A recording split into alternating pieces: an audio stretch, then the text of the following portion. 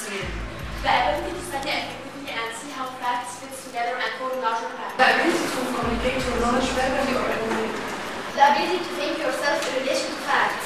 What brain regions are responsible for this function? The prefrontal cortex it is implicated in the planning complex cognitive uh, behaviors.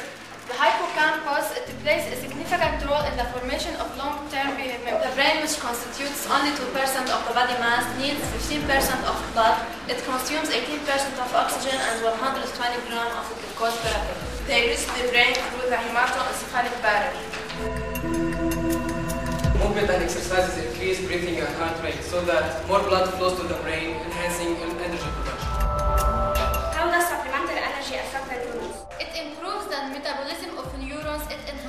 The levels of neurotrophins, then the neurogenesis will increase.